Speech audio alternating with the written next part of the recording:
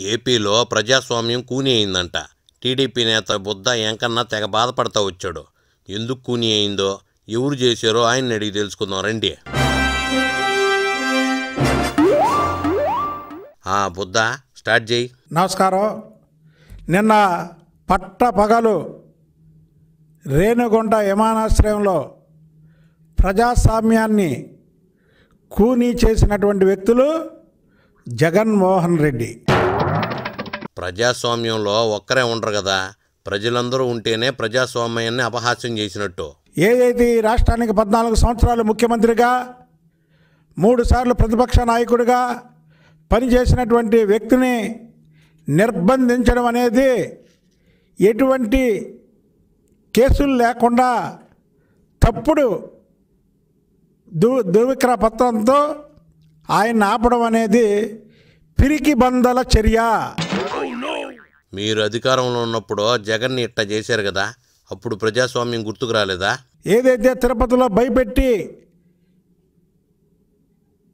Telugu Desam party వాళ్ళని నామినేషన్లు ఉపసంహరిస్తున్నారో ప్రజాస్వామ్యాన్ని రక్షించమని గాంధీ విగ్రహం దగ్గర నిరసన దీక్షకు వెళ్తున్నటువంటి మాజీ ముఖ్యమంత్రి చంద్రబాబు గారిని రేణుగుంట విమానాశ్రయంలో ఆపడం అనేది ప్రజాస్వామ్యాన్ని కూనీ చేయడమే కాకుండా జగన్మోహన్ రెడ్డి భయపడిపోతున్నాడు అనడానికి నిదర్శనం. అంటే అప్పుడు కూడా మీరు భయపడ్డారు అయిందే? ఏదైతే తిరుపతిలో లక్ష్మీదేవి అనే ఒక తెలుగుదేశం పార్టీ అభ్యర్థిని కరుణాకర్ రెడ్డి అక్కడ ఉపసంహరించుకోమని ఆమె మీద ఒత్తిడి తీసుకొస్తుంటే ఆమె విత్డ్రా అవ్వకపోతే ఆమె భర్తకు చెందినటువంటి ఒక టీ స్టాల్ ఏదైతే ప్రైవేటు స్థలంలో ఉంటే అది ప్రభుత్వ స్థలం అని అధికారులతో పడగొట్టించడమే కాకుండా అతని మీద కక్ష సాధింపు చర్యలు. అంటే మొన్నటి వరకు తెలుగుదేశం పార్టీ నాయకుల మీద చేశారు. ఇప్పుడు కిందకు వచ్చారు కిందికొచ్చారు అనంటే? ప్రజల మీద కూడా టీ కొట్లు ఉంటే టీ కొట్లు బడ్డీ కొట్లు ఉంటే బడ్డీ కొట్లు ఏ ఉంటే అవి ధ్వంసం చేయడం. ఎక్కడ ఏది కట్టించడం వీళ్ళకి చేత కాదు కానీ కూల కొట్టడంలో జగన్మోహన్ రెడ్డి ప్రభుత్వం ముందుంది. జగన్మోహన్ రెడ్డి జగన్మోహన్ రెడ్డి ప్రభుత్వం గుర్తుంచుకోవాల్సింది ఒకటి ఉంది.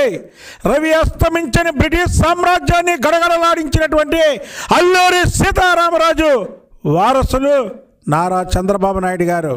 ఇవాళ మీరేదైతే ఆ రోజు బ్రిటిష్ పాలనలో ప్రజలు ఇబ్బందులు పడ్డారో ఇవాళ జగన్మోహన్ రెడ్డి పాలనలో ప్రజలు ఇబ్బంది పడుతుంటే ఆ అల్లూరి వారసుడిగా చంద్రబాబు గారు ప్రజా పోరాటం చేసి ప్రజలతో నిరసన చేద్దామనుకుంటే మీరు ఆ రోజు బ్రిటిష్ సామ్రాజ్యం ఎలా అయితే అల్లూరి సీతారామరాజుని అనగదొక్కి అల్లూరి సీతారామరాజుని ఎక్కడ తిరగకుండా చేసిందో వాళ్ళ చంద్రబాబు నాయుడు గారిని అదే అల్లూరి చేసినటువంటి పద్ధతుల్లో ఆయన నిరసనలు చేయకూడదు. నిరసన చేయకూడదు అనే కారణంతోనే కదా అడ్డుకుందే. ఇది అందరికీ తెలిసిందే కదా బుద్ధ? ఆయన మీటింగులు పెట్టకూడదు ఆయన ఎక్కడికి వెళ్ళకూడదు ఆయన ఇంట్లో కూర్చున్నా నిర్బంధిస్తారు రేణుకొండ యమనాశ్రంలో నిర్బంధిస్తారు వైజాగ్ ఎయిర్పోర్ట్లో నిర్బంధిస్తారు ఆయన శ్రీరాముల వారి గుడికి వెళ్తే కార్లు అడ్డం పెడతారు.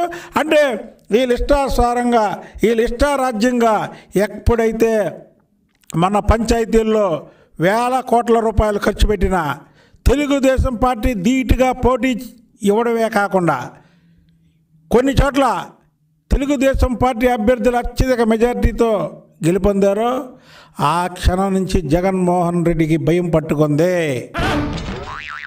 ఎప్పుడు ఎక్కడ గెలిచారు అని వైకాపా వాళ్ళు అడుగుతున్నారులే. ఈ రాష్ట్రానికి ఎప్పటికైనా చంద్రబాబు నాయుడే మళ్ళీ ముఖ్యమంత్రి. ఈ చంద్రబాబు నాయుడిని ఏదో రకంగా అంతమొందించాలనే ఒక కుట్ర జరుగుతుంది. ఆ కుట్రలో ఏదైతే చిత్తూరు జిల్లా నాయకుడు పెద్దిరెడ్డి రామచంద్రారెడ్డి కూడా ఉన్నాడు.